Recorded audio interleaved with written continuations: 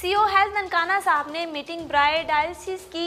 जिस पर CO health doctor Suhail Tarak ने मरीजों की बेहतरी के लिए अपने प्रोग्राम से आगाह किया जिसमें फैसलाबाद इजाज अहमद सरप्रस्त आला Rahman foundation dialysis centre Faisalabad professor Mohammad Yaqub Noor foundation Nankana Sahib Mian Tahir Rafiq सरप्रस्त आला मरकज़ी अंजमे ताजरान सांगला हिल इन सब ने डायलिसिस के मरीजों की बेहतरीन खिदमत के लिए इनकी बेहतरी के लिए और अद्वियात की फ्राहमी के बारे में गुजारशात पेश की जिस पर C O e health doctor Suhail Tarak ने मरीजों की बेहतरी के लिए अपने प्रोग्राम से आगाह किया जिस पर तमाम शुरा ने इनका शुक्रिया अदा किया